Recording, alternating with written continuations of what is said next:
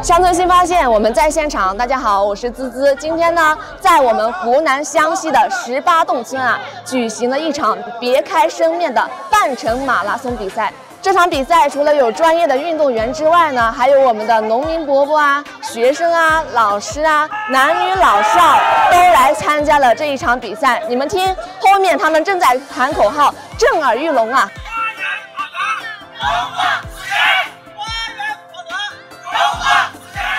十岁跑了八十一岁，今年七十一了。这职业是纯农民，跑了下来二十公里，我经常跑全马。以前多毛多病，经过跑步，医院都不要了，我从来不去医院了。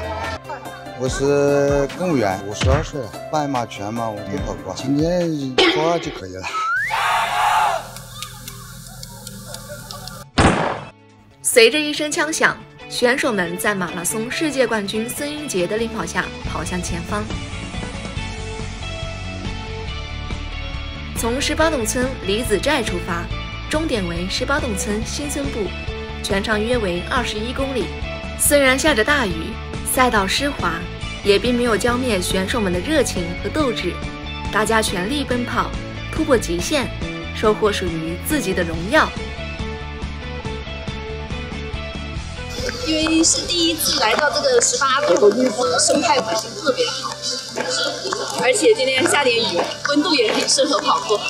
在十八洞村进行的马拉松赛跑，带给选手的不仅是激情酣畅的运动体验，也是一场享受苗乡独特风光的奔跑之旅，感受赛道沿途淳朴的苗家风情和绝美的自然风光。亲身体验十年以来精准扶贫首倡之地的发展变化。人与大自然的融合是在我们这种城市是感受不到的。我也希望更多的人来到我们十八洞村，跟着我们十八洞村的这样的一个历史的文化、民族的文化，来感受奔跑这个过程当中的那种体验。大家奔跑的样子真的很美，不论是长跑还是短跑，大家都一起坚持奋斗向前进发吧。